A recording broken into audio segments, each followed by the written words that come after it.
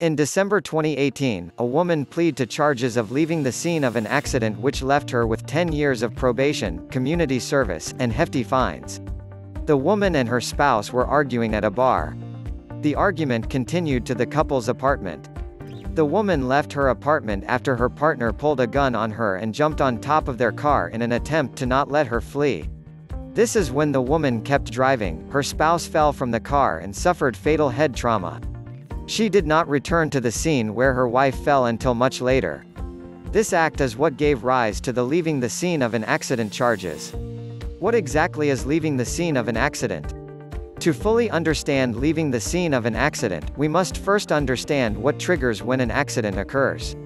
Under 47 OS Section 10, Oklahoma law provides several duties to someone at the scene. First, you must render aid to the person suffering injuries. For example, you can call 911 or another emergency service, or move the person from immediate harm. You must also remain on scene until officers take down your accurate personal information.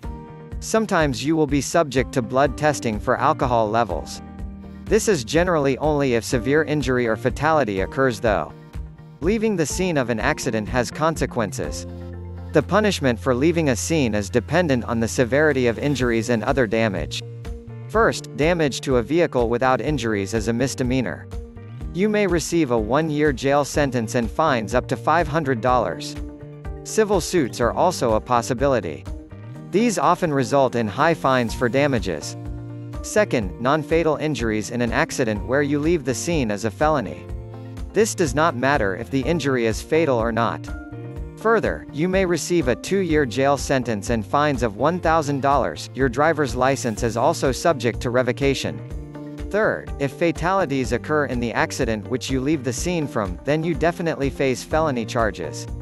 This can result in 10 years in prison and fines of $10,000. Again, your driver's license will be subject to total revocation. Call our criminal lawyers for a free consultation. Leaving the scene of an accident is a serious charge. You do not want to find yourself in the position of facing these charges without legal representation.